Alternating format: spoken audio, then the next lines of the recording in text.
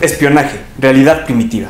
Big Brother te vigila es tal vez una frase que nos remite a la obra 1984 de George Orwell, a un viejo gastado programa de televisión o simplemente una nota periodística que ha circulado en los últimos días, donde se afirman casos de espionaje a cierto sector en el país, tal si fuera una idea ficcionaria o una película futurista de alguna productora tal vez extranjera.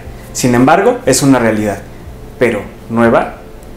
No es que ahora hayamos descubierto el hilo negro, Simplemente es que nos perdemos en la cotidianidad que el mundo nos ofrece sin indagar en que hemos sido vigilados siempre y con nuestro consentimiento, al ser nosotros los permisivos a compartir nuestra información ante el mundo sin protección y conciencia.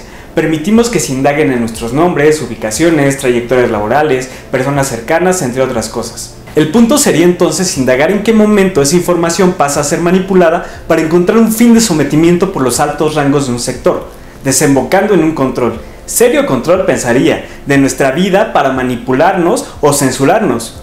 Por otro lado, ¿en qué radica nuestra protección, siendo este un mundo modernista y globalizado en el que nos hemos convertido, en dependientes de la tecnología y en el que se funge como arma de dos filos? Para usar el miedo como una pieza clave para dar poder a los que fungen como titiriteros de nuestra sociedad, en la que ahora no podemos reconocer siquiera como personajes principales de sus objetivos, sino como simples elementos para dar un fin que asumo se nombra poder o dinero, siempre ligados.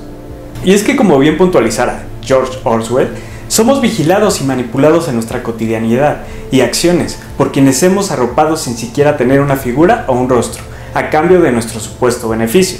Por lo que también me recuerda la obra de Maquiavelo, El Príncipe, donde se afirma, cito, la mayoría de los hombres, mientras no se les prive de sus bienes y de su honor, viven felices. Entonces el príncipe es libre para compartir la ambición de las minorías. Cierro cita.